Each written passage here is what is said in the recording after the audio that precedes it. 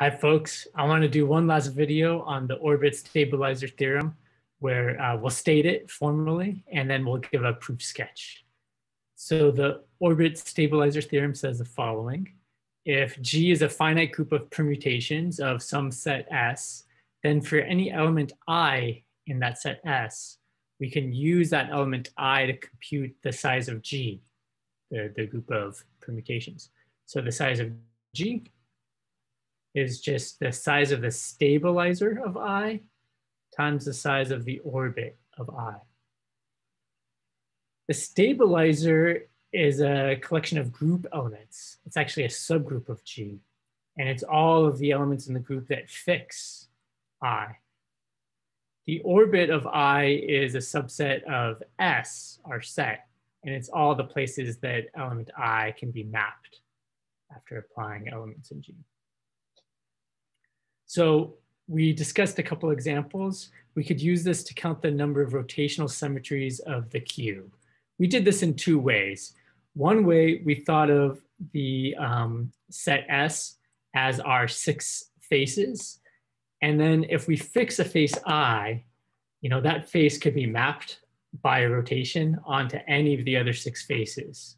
So in this count, the size of the orbit was six because I fix a face, it could be mapped to any of the six others. The size of the stabilizer of this face was four, because there are four rotations that map that face onto itself. All right, and so that we found that the size of the, the group was 24. Another way that we counted that the size of rotation rotational symmetries was 24 is that we thought of the rotations as acting on the set S of vertices, okay? So now each rotation, we think of it as moving these vertices around. And so there's a rotation that can take any fixed vertex to any other. So the size of the orbit of any vertex is now eight, okay? Whereas the size of the stabilizer changes. If I fix, if I want to count the number of rotations that fix this front vertex, well, there's only three. You know, this white face could either be um, stay put or map up here let me try this again. if I'm fixing this front vertex, then the white face could either map to the bottom left or to the bottom right, or it could stay put. There's only three rotations that fix this front vertex. So the stabilizer of this front vertex is three, three rotations that fix this front vertex. So we again got 24 rotational symmetries this time as eight times three. We also talked about the soccer ball. So what's the group of rotational symmetries of the soccer ball? One way we counted this is thinking of the rotations as on the soccer ball as acting on the pentagons. And so um, a rotation can take one pentagon to any other pentagon. And there's 12 pentagons in, in total. So the size of our, our orbit was 12. Any pentagon can go get mapped to any of the 12 others. And the size of the stabilizer was five. There are five rotations fixing any pentagon. So we got 60 as our group of rotations of the soccer ball. You could also think of the set S as the hexagons. Um, there's 20 hexagons and, and any hexagon can get mapped to any other. So the size of our orbit is 20. The size of the stabilizer was three there's only three rotations of this hexagon that, that fix the stitching pattern. You know, you have to map um, these pentagons uh, onto pentagons when I rotate around this hexagon here. So that's why there's only three um, rotations that fix any given hexagon, such as this hexagon right here. Okay, one other example I made a little bit more explicit. So G was the following subgroup of size six. Um, here are the six elements. They're all elements in, um, in S8, the uh, permutation group of eight elements. But I'm not considering all of S8. My group G that I'm considering is a subgroup of size six so we computed these stabilizers and the orbits for a couple different elements. For some of the elements, like element one, the stabilizer had size two and the orbit had size three. And so that we, we got that the size of the group was six equals um, three times two. Whereas for this other element seven, the stabilizer had size three, whereas the orbit had size two. So we still have six as being equal to three times two, but now it would be in the opposite order.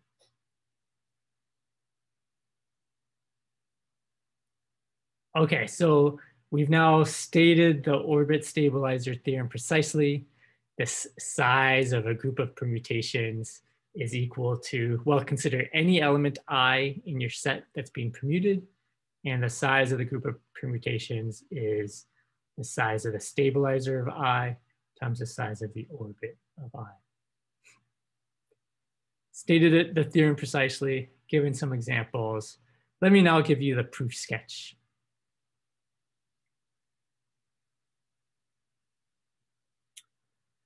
So the first and maybe the most important step in this proof is to observe that the stabilizer is always a subgroup of G. So let me outline this only a little bit. What does it mean to be in the stabilizer of, of I? It means that phi of I is equal to I. you, you stabilize the ith face, right? You map the ith face onto itself. So now if I had not only phi, but also phi prime that was in the stabilizer, certainly we would have phi prime also fixing I. Okay. What this allows us to observe is, well, let's consider phi prime composed with phi. What happens when I apply that to i? I get phi prime of phi of i, but phi of i is just i. And now phi prime of i is just i. So what we've observed is that phi prime composed with phi is in the stabilizer. Because it fixes i. So if I have two elements in the stabilizer, then their product is in the stabilizer. It's also true that if I have an element in the stabilizer, then its inverse permutation is also in the stabilizer. And that's essentially what you need to show that the stabilizer is a subgroup. It's a non-empty set closed under products, as we've observed, and it's also closed under taking inverses. So once you have a subgroup, the stabilizer is a subgroup of this larger group G, Lagrange's theorem kicks in. Lagrange's theorem says that the size of a subgroup always divides evenly into the size of a finite group. G is a finite group, and the stabilizer is a subgroup. So Lagrange's theorem says we could write the size of G as the size of the stabilizer times some integer. What was that integer? That integer was the number of cosets of the stabilizer, or more generally the subgroup. Okay. So Lagrange's theorem says not only does the subgroup divide evenly into the group, but the number of times it divides in is equal to the number of cosets it has you might remember this picture. Okay, here's a nice simple group, Z mod 12Z. It has 12 elements. Consider this subgroup generated by three. Okay, it has four elements, zero, three, six, and nine. How did we show that four divided evenly into 12? Well, we observed that the group can be uh, divided up into disjoint pieces, all of the same size.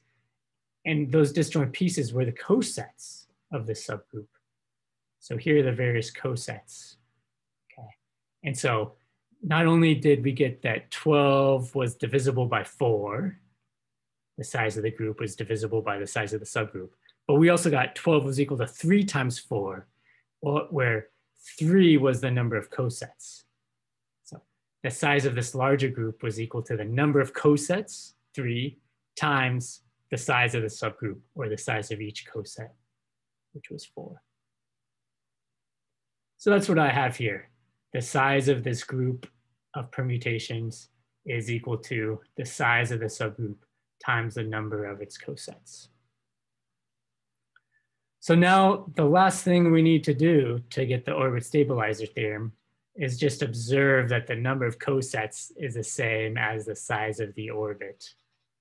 Okay, and that is true. We won't give a full proof, but the number of cosets of the stabilizer in G is equal to the size of the orbit of this element I. Right. So then we can plug, plug this in to obtain Lagrange's theorem.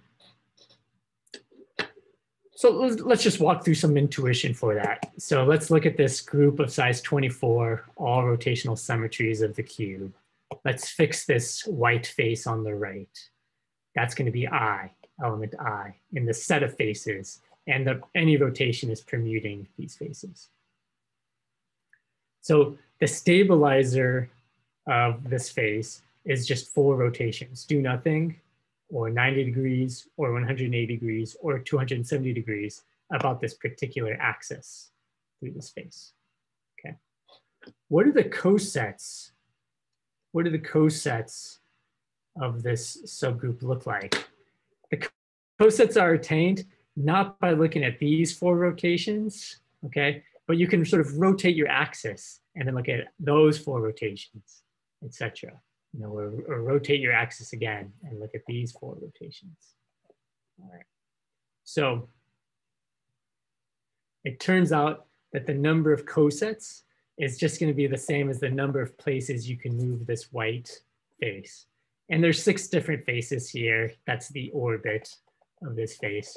And so there are going to be you know, six different faces that we can map this particular face onto. And it turns out that'll be the same as the number of cosets of this subgroup, which is the stabilizer. That's very much just intuitive, but, but, um, but I'll leave it there.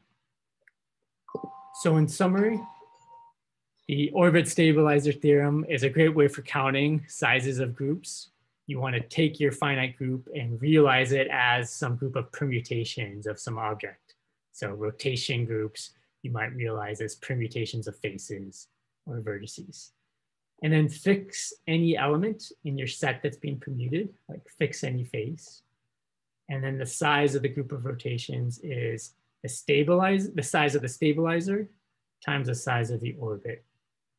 And the main way we proved this is we realized that the stabilizer was a subgroup so then Lagrange's theorem told us that the larger group was equal to the size of the stabilizer times the number of cosets.